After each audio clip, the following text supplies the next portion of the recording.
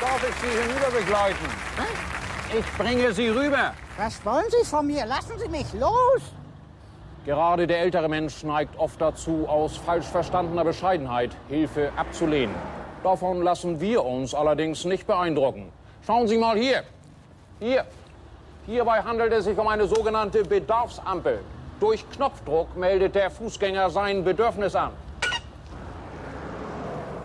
So, jetzt kommt auch gleich das grüne G-Männchen.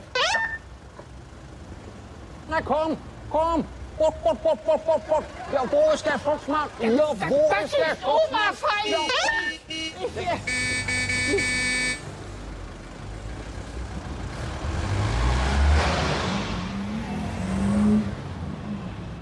Aufgemerkt.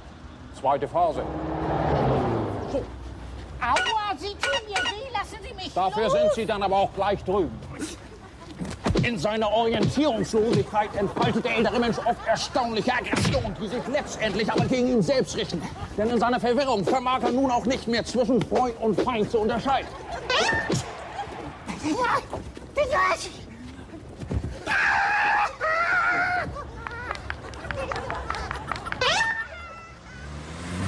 Keine Angst, Omi, ich bin gleich wieder da.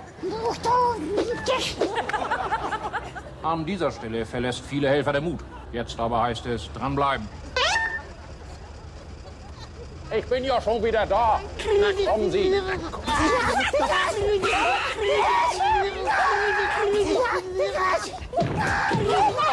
will mich vergewaltigen!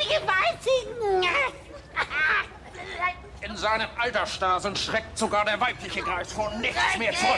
Dank seiner polizeilichen Ausbildung ist der Beamte jedoch in der Lage, in Situationen wie diese mit psychologischen Feingespür zu reagieren. Und das Knöpfchen. Und da ist auch schon das Gehmännchen.